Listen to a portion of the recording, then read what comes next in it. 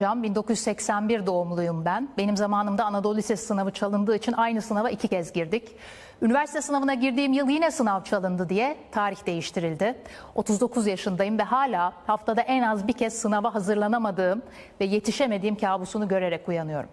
Sınav tarihi değişikliği travmasını atlatamadım. Eğitim sistemi de tıpkı hayat gibi tam cevapları buldum dediğinde sorular değişiyor. Korona sürecine sosyal mesafe koymak kadar ruhsal mesafe koymak da zor. Bu süreci atlatmak psikolojik olarak zorlayıcıyken bir de bu süreçte belki de ailenizde birileri korona ile mücadele ederken sınava hazırlandığınızı ve tarihlerin birkaç kez değiştiğini düşünün. Üstelik bırakın ayları, anları hesaplarken. Şimdi tarih geri alındığı için benim zamanımda yaşadığım travmanın mislini düşünün. Genç, Farsça bir kelime ve hazine demek.